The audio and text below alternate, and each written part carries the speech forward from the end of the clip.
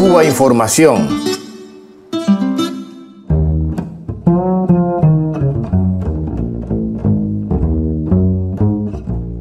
En una inteligente decisión estratégica, el presidente de Ecuador, Rafael Correa, decidió retirar temporalmente de su tramitación las llamadas leyes de herencia y plusvalía para abrir un debate nacional. Dichas leyes han sido la excusa de la oposición de derecha y de poderosos sectores económicos del país para lanzar, con ayuda de los grandes medios, una gran campaña de desestabilización contra el gobierno. El mensaje del presidente no puede ser más claro.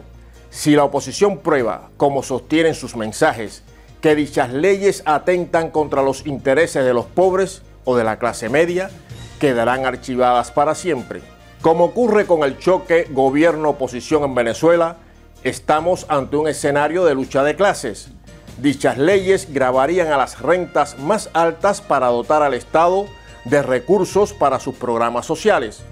En un país en el que el 2% de las familias concentra el 90% de la riqueza. Rafael Correa, como antes Hugo Chávez, impulsó un proceso constituyente que, además de potenciar la participación democrática, recuperó el rol del Estado en la economía, haciendo frente a los mandatos del Fondo Monetario Internacional. Consecuencia, Ecuador ha conseguido reducir la pobreza del 37,5% al 22,5% y la extrema pobreza del 16,5% al 8,5%.